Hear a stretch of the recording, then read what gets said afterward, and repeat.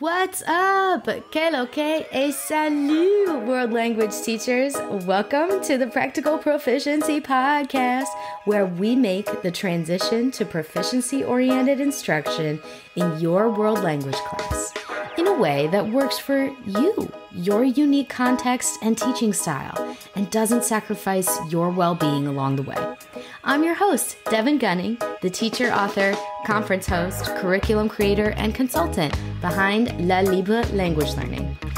This podcast is for the creative world language teacher like you, who's ready to ditch the overwhelming pressure of switching to acquisition driven instruction and CI overnight. You're ready to discover how using more target language in class can actually bring you and your students more joy instead of adding to your plate. With practical, authentic, and down to earth strategies that don't require reinventing the wheel or more training, we'll work together towards the magic of a community based, target language rich classroom rooted in the power of community and comprehensible input. Let's go! Hey, hey, hey, it's assessment day.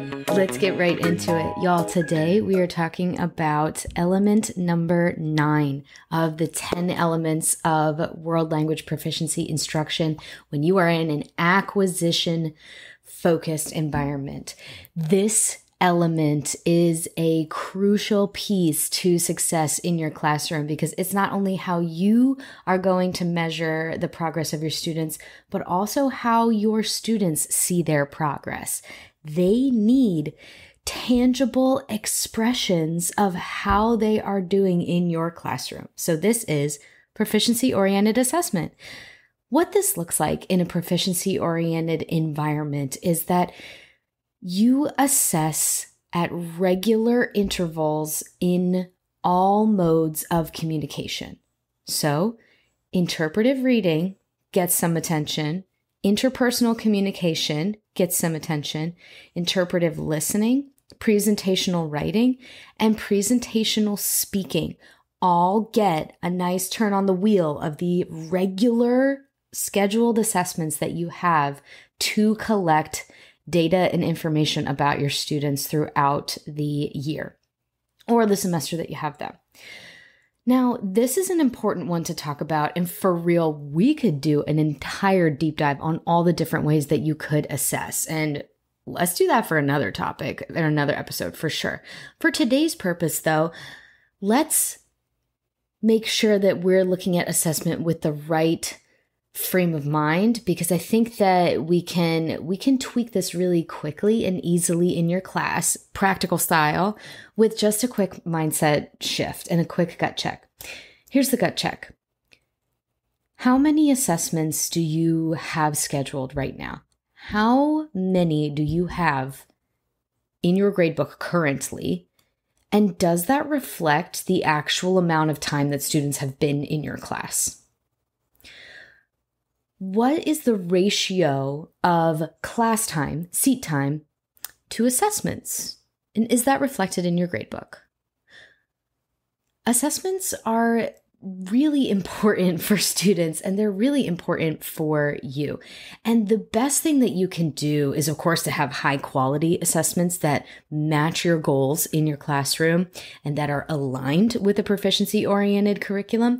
But at the end of the day, what I find working with hundreds of teachers and districts is that world language teachers, because we don't have a standardized assessment and because so often we work in a little bubble, we work on our own a lot of the times, it's pretty rare that you find a large world language department. So a lot of the times, people are A, creating their own assessments, and B, those assessments are kind of sporadic. Like they're not planned out in specific intervals like they would be if you were any other subject matter.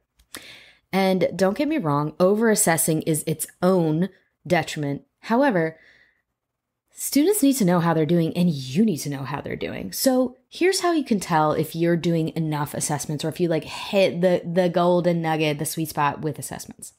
Could you tell me like off the top of your head how well your students have mastered a certain skill, a certain communicative ability in your classroom right now? Like if I ask them, let's say, if you're in a level two Italian class, and I want to know, okay, well, in level two, one of the things that's really important to be working on in a level two classroom is clear, confident, fluent expressions of opinions and reacting to other people's opinions. So, how well can all of your students do that?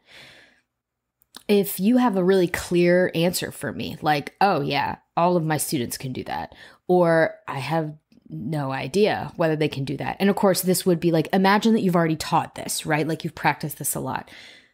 Do they can you give me some tangible proof that they can or cannot function in this communicative skill? That they can talk like it's got to be some sort of familiar topic like it can be anything too like this is another big misconception about proficiency oriented curriculum is that like you have a lot of options when it comes to the the actual content that you could talk about like it doesn't really matter if you want to talk about opinions with food or opinions with sports or opinions with hobbies well it's also sports but if you want to talk about opinions with um their school subjects, you know, but all of those things have in common that they're daily life, like easy things for students to relate to in their own close knit world, you know? So that's how you know that we're in the novice sphere for my ACTFL people or for my CEFR people in the A1 sphere. They're talking about their everyday, very familiar, I interact with this this object or this idea every single day. So, and it's usually talking about like my own feelings and opinions about that object every day. So, whether you can choose any of those categories, let's say that we're talking about, let's choose hobbies. So, that's an easy one for opinions. Like, oh, I love riding bikes. But if you were talking to me, like, I freaking hate bikes. I absolutely hate bikes. I hate bikes so much. It probably is because I'm so short. So, I'm standing pretty at a nice five one. So I really don't like bikes because I have yet to find a bike where I can actually sit comfortably on it. Like it is so uncomfortable for me and I would much rather run anywhere. Anything that's sturdy on my own two legs, I'm in for it. So if you asked me to talk about in Italian, hey, do you like riding bikes? I would say, no, I hate it. And you would want somebody else in your classroom to be able to say, whoa, that's crazy. Whoa, that's intense. Why do you hate it? That's how you know they're level two. If they can hold that whole conversation right there. Very simple language, right? Do you like bikes? Yes or no. And you can say something like, I hate it, or I love it, or it's okay. And then have somebody react. Yeah, cool. Okay, me too. Or, whoa, why? And try and find out more. That's how you know it's level two versus like a level one where they might just be able to say, like, oh, I like it, or no, I don't like it. This gives me a whole idea of how we should talk about, like, how do you know what level your students are at?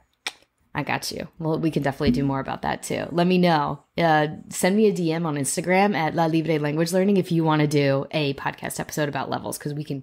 Ooh, that is a whole. That is my favorite area of focus.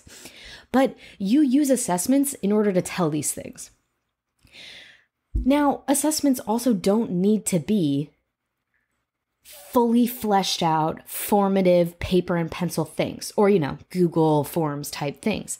They can also be you going around your classroom. This is something I used to do often when I was still in the classroom is going around to each student with a clipboard and just checking off yes or no with like a simple can do statement. I can react to somebody's opinions about their hobbies. Check yes, yes, but with some hesitations, like it's a middle ground, or no, I can't do that yet. I would do that for every student with a certain skill that I was looking for. And that would then you'd have some paperwork, some data to be able to look at, like, oh, okay, I've got like half the classes there, but I need to work on the skill a little bit more so we get to like 75%. That's what I'm talking about with assessment. So you need to assess at regular intervals so that you know where your students are at. If and talking about like more formal assessments that would be that would be a um a formative assessment let's talk about a summative assessment my recommendation and the current recommendation of ACTFL at the point of this recording would be a IPA style. I do personally love IPAs. This is an integrated performance assessment, and I have a full blog post that breaks down all of this as well for what an IPA is. But an integrated performance assessment does assess all three of those modes. Um, interpersonal, interpretive, and presentational. It's wonderful. It's also got authentic texts brewed in the mix. Uh, but they're very time consuming to create, which is a huge issue with IPAs. So if they're not your jam, anything that does at least get to a proficiency oriented communicative goal that's fine. Like whatever whatever you got that's working for you is wonderful. But it needs to be in context using proficiency skills to accomplish a task. Also make sure that you're routinely assessing you're routinely checking in with students and then putting those things in the grade book the golden rule is and you know change this up depending on how how much seat time you have with students the golden rule for a block schedule for my middle school and high school folks is that if you're seeing your students for 70 to 90 minutes for example every day then you should be giving them assessment at least once a week at least like that's the minimum and that doesn't need to be a big assessment every time. You could do like a cheeky little speaking quiz or like a little reading quiz every now and then, but that that's weekly. If you see your students every day for 40 minutes every 2 weeks, at the very bare minimum, but I would I would like to see it a little bit more often if possible. And if you see your students, you know, twice a week, that gets tough. That gets really really tough um, because the length of time that goes between each class is, you know, that makes it hard to assess for sure. I see you on that. Um, that guideline i would say check in with your with your department with your district and with other people in your school and see what they're doing but my gut instinct would be every 3 weeks do at least a quiz and every 6 weeks to to 9 weeks like what works for y'all and your units then you should be doing a larger assessment at that point. I would also say as well that an important facet of this is that you're routine you're routinely evaluating your assessments, taking some time to craft excellent ones because your curriculum moves from that backward design of the assessment will determine everything that comes after it. So when you have this glorious all-encompassing assessment, the rest of your materials will be lasered in, focused on making sure that your students get great results on that assessment, which means that they get better grades, which is better for everyone. That's the whole point, right? School success. You also need to take time to craft these excellent assessments, and that is a whole thing in itself because we all know that you don't have enough time to prep right now. So, I would say too that you are viewing your assessments as very invaluable checkpoints and milestones for your students' progress. Like they are informative for you, but not only are they informative for you and your students' progress, assessments are essential for consolidation of information for students. You need these milestones to give students a point to, okay, this is what I've learned so far. It's time to organize, synthesize, and consolidate what I know into a nice packageable piece of information. It truly helps them to when they consolidate their learning, they are relearning some concepts, understanding the gaps in information that they currently have, and actively filling those gaps in with whatever review that you are doing. And they are relearning as they are taking the assessment. Asterisk point here if the assessment is good if the assessment is truly working towards a communicative task.